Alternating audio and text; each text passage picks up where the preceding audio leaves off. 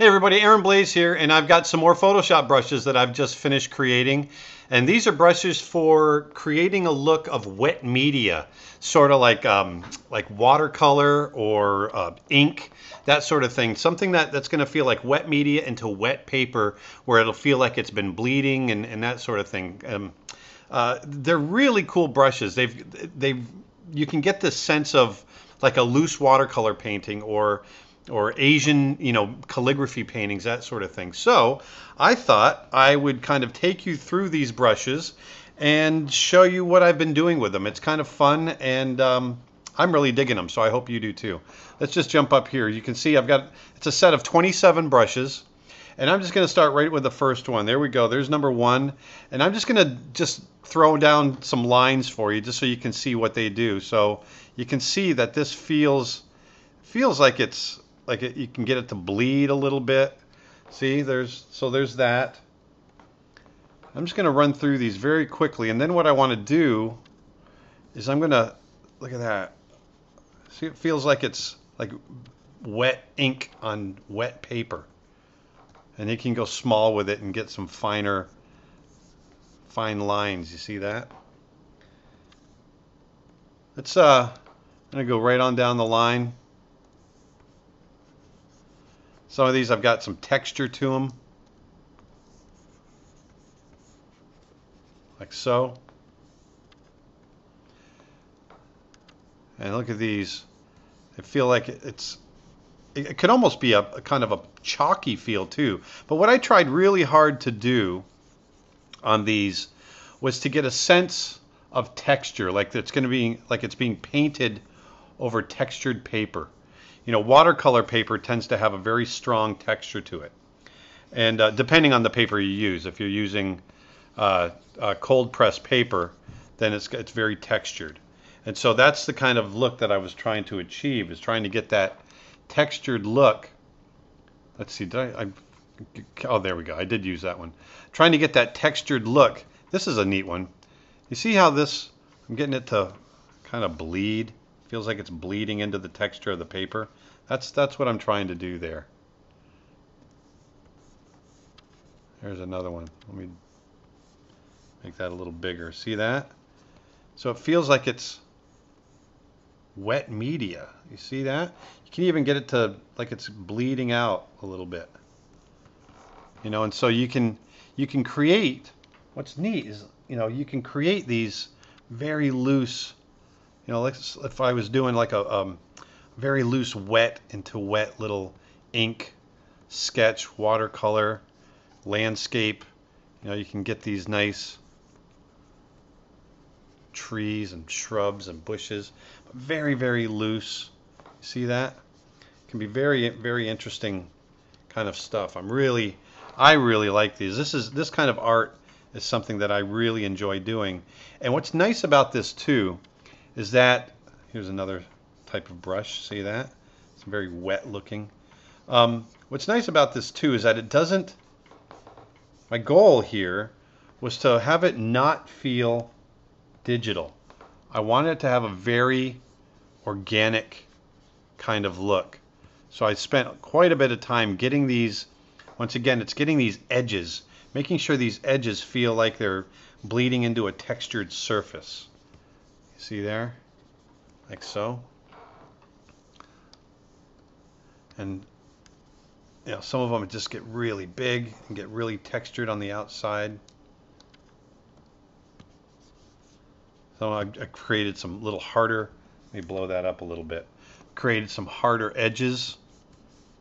See there's some hard parts and some softer parts. Just to feel like it's very organic. So that's what I'm trying to do there. Let me jump up to the next one.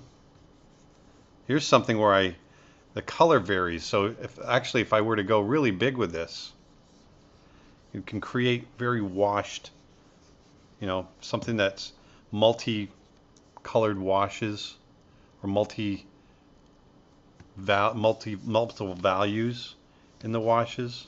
See that? So you, and then you could work right over the top of that. It's almost like you sponged it, you know, you sponged it onto the onto the paper.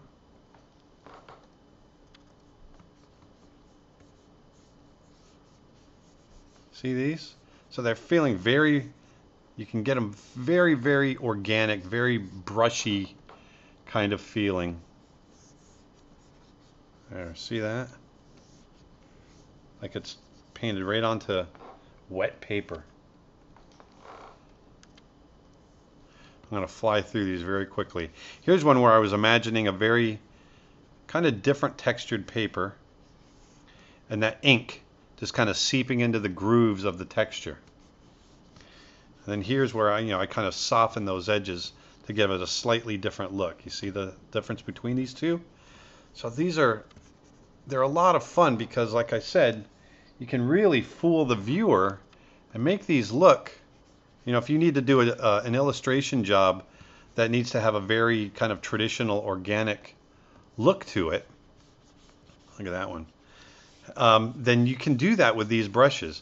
And it's also great to create kind of a wash in the background, then you can work over the top. There, see these? And if you kind of work it in an area here, you can get it to bleed out. See that? It's like it's just bleeding like it's seeping into the water on the paper and it has a very like it, you just dripped ink onto a wet surface. And that works very well for a watercolor look. And these I wanted to have like a little splatter, like you laid down the line pretty quick. Now this is something that's really cool. If I draw this, you can see there's little splatters on there. I'm going to increase the size. See the splatters on there. But if I tilt my, my stylus, I've created it so that if you tilt the stylus, you can actually get it to splatter in the direction that your that the stroke is going in. See that? All dependent upon the tilt of the pen. So that's a very cool option on there. And here's another one, just a little bit bigger, a little more splattery, a little faded out on the edges. You can see, you can see little, whoops, can see little splatters in there within the brush stroke. See that? Trying to get these very organic. And so I also have uh, included in all this, literally I have splatter brushes. So here, here it's making some splatters. And once again, if I tilt my pen, I can get it to really to splatter in the direction that I tilt my pen. If I hold my pen straight up and down, I have straight spots. Like it's just splattered, like it's uh, coming out of an airbrush with low pressure. But if I tilt the pen, I can get it to splatter out to the edges. So it feels much more organic. You can really create some cool effects like, like this way. Once again, here's another splatter brush. Tilting the pen, here it's straight up and down, and then tilted, look at those splatters. See that? That's very cool. I really enjoy creating these. There's some more. Another splatter. Look at that. So you can really make it feel very organic, very kind of abstract if you want, if you decide to go that way. Here's one where it varies up in its value within the within the uh, the brush stroke. So you can get, watch this, you can get this very cool. Say I want to do, let's say I want to do like an explosion. Look at that. And it's very very quickly done with the, the, these splatter brushes. And then once again, I hold the pen, the, the stylus straight up and down. I get straight spots, but if I tilt it, then I get the nice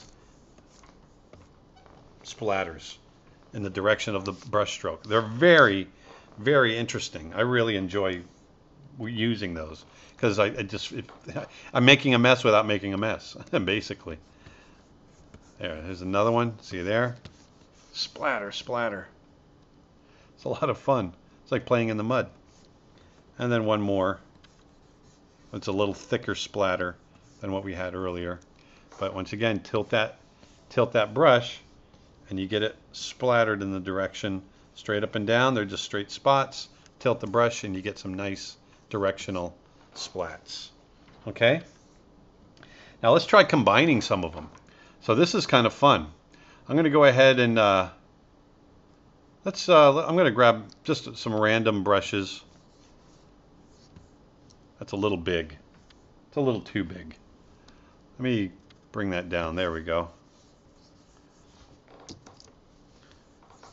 We got some. I just want to just play with it. I want to show you how we can come up with some fun shapes.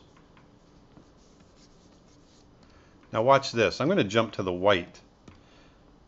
Now watch these textures we can create. I'm just going to put white on here. And I'm playing, what I'm doing is I'm playing with these edges, making it feel like it's bleeding out a little differently. See how organic that feels? And it feels, really feels like it's ink, wash, that's been washed across the paper and has bled. I'm going to go back to black again. Let's try up a different brush. Here we go. Oh, that's the that's the multicolored one. Let's try this one. I'm going to go bigger with it. See the nice edges on there? Once again, I'm going to go back to white. Find some of these different ones. There, look at that. Look how cool that is. It feels very organic, very natural. So, with that being said, look at this one I created earlier. Really feels like this nice wet watercolor textured paper kind of feel. Let's say we want to uh, let's create a little let's create a little ink landscape. Let's try doing that. So I'm gonna let's use this one. Go big. Just gonna create just random shapes back here, create a backdrop. I'm very, once again, I'm very much a fan of Asian calligraphy and I just love that. So I'm going to push that back. Let's just drop the opacity down. Let's work on top of it. So I'm going to grab, let's grab this brush. Whoops, I made it too big. Let's grab this brush again. There we go.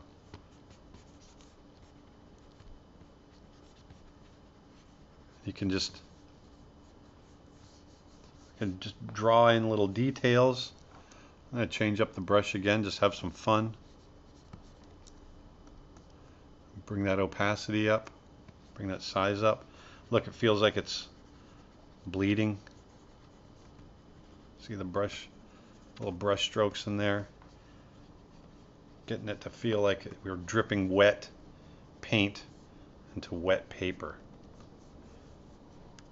There we go. Now let's, gonna, i can go ahead and draw with this.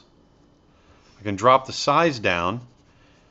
I can make this tree. I'm making this tree here. I'm just going to very quickly just sketch in you know what we might be able to do with this and come in. Let's grab one of these. I'm just ran whoops that's too big. Way too big. There we go. Let's grab this one see what we get. I still don't like it. Let's grab this one. Let's grab this one. There we go. Go a little bigger with it